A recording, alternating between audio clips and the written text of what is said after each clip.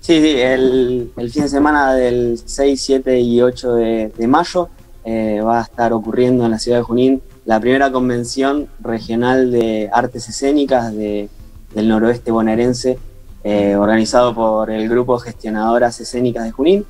Y en esa oportunidad, además de talleres y ponencias, vamos a, también estar llevando el espectáculo Epirosis de, nuestro grupo a, la ciudad. Así que contento de poder llevar la propuesta para allá y, al equipo y todo, que somos un, un grupo numeroso, así que contentos de eso. ¿Cuántos son?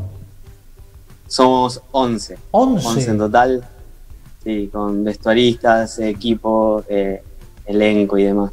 Bueno, contanos qué, quiere decir epirosis. Epirosis es un derivado de la palabra epirosis, que es del griego, que proviene de lo que es eh, la apocalipsis. Es el fin, del mundo, el fin del mundo en fuego, significa. ¿Es el, el fin del mundo?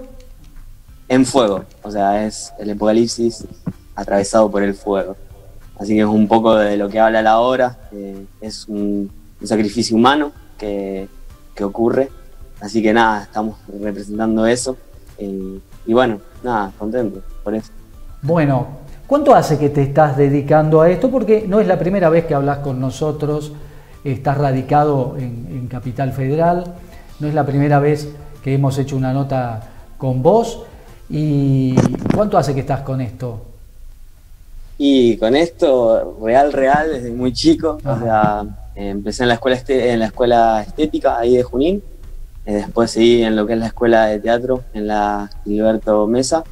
Y, bueno, después me vine, una vez terminada la secundaria, me vine hace 10 años acá a Capital, donde ingresé en la EMAD, que es la Escuela Metropolitana de Arte Dramático, donde me egresé y bueno, soy egresado de esa institución, que es una, una institución pública y bueno, hace 10 años que estoy acá en Capital eh, ejerciendo lo que es la profesión. Bueno. Y sí, es cierto que me han dado la posibilidad de, contarnos proyectos, Caño, vos, así que agradecido también por, por este espacio que me dan siempre. Bueno, Caño, ahí lo tenés, Agustín. Eh, no, quería saber si la función es para los alumnos de, de, la escuela o los integrantes o es para todo público. ¿Lo pudiste escuchar, eh, Agustín? Sí, sí, sí. no, la, lo que es la, invitación está abierta a, todo el público de Junín y la región, eh, un poco eh, lo que organizaron, la convención que organizaban las gestionadores escénicas, un poco abrir a toda la región lo que es la invitación a, participar. Eh, la obra es para mayores de 13 años, o sea, no es apta para todo público, para que lo tengan en cuenta. Y, y, va a ser el sábado 7, el sábado que viene, a las 10 de la noche en la Escuela de Teatro de Junín. Ajá. Así que. Tomado nota. Tomado nota ya. ¿Usted ya tomó nota? ¿Va a ir, señor Caño? Eh, ahora te cuento lo que hay. Uy, tiene un montón ahí para. Vamos a ver, vamos, vamos, a repartir. agrega a todo eso la obra de, la escuela de teatro. De la escuela de teatro. Pero esta, esta convención es una convención regional, va a tener también eh, otros aspectos, ¿no? Allí en la escuela de teatro. Sí, eh, la, convención se va a dividir en distintas sedes. Una de esas es la escuela, la escuela de teatro, otra es la Casa de Títeres Cubana y después es el Centro Cultural Común Emergente.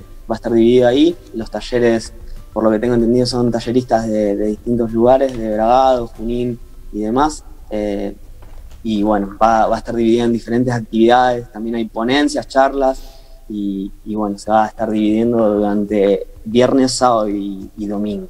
Perfecto. Bueno, Agustín, muchas gracias por este, por este contacto. Mucho éxito eh, en toda esta movida que va a haber aquí en Junín, movida cultural, teatral, que es importante tener a nivel regional, ¿no? Eh, nos vemos entonces mañana. Eh, sí, bien digo, mañana, Agustín. No, perdón. No, eh, el otro sábado, el otro sábado. Nos encontramos, Repito, si quieren toda la información así queda bien, bien clara. Es el sábado 7. Sábado 7. Sábado 7 a las 10 de la noche en la Escuela de Teatro. Las entradas están anticipadas en Malena Ferry, ahí Mayor López 104, sino también en gestionadoras.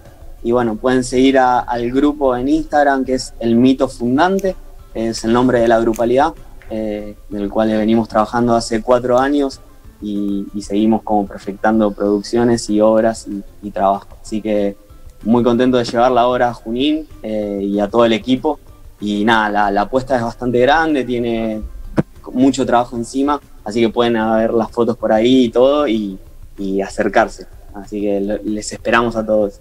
Perfecto, hecha la invitación, en el Zócalo está perfecto, que es el sábado 7, así que no tenga problema. Muchas gracias, Agustín. Muchísimas gracias a ustedes, a Canio, a Fernando ahí y, a toda la gente de Junín.